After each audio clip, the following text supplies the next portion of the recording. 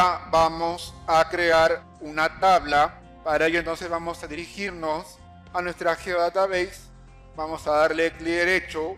Vamos a la opción nuevo y vamos ahora a crear una tabla.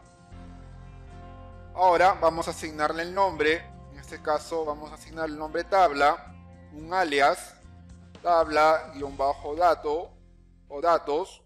Vamos ahora a siguiente y vamos ahora a agregar los campos respectivos. Podemos agregar entonces los campos nombre de tipo texto.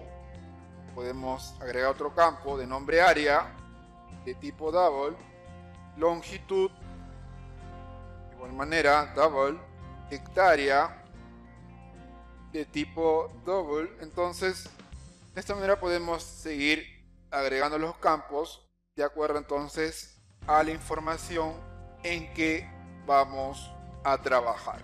Entonces también podemos nosotros editar las propiedades de cada campo.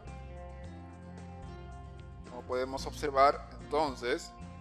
O también podemos importar otras definiciones de campos a partir de otras clases de entidades u otras tablas. En este caso entonces vamos a la opción Finish y vamos a obtener entonces nuestra tabla creada tal como observamos también en la tabla de contenidos.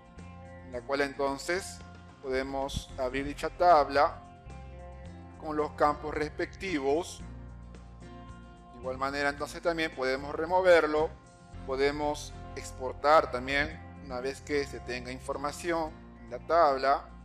También desde el catálogo podemos ir a tabla y podemos también de igual manera copiar la tabla, suprimir, renombrar la tabla, exportar la tabla a una de a una múltiple de o tabla, exportar a una geodatabase. Entonces, de esta manera tenemos nuestra tabla creada en nuestra GDB.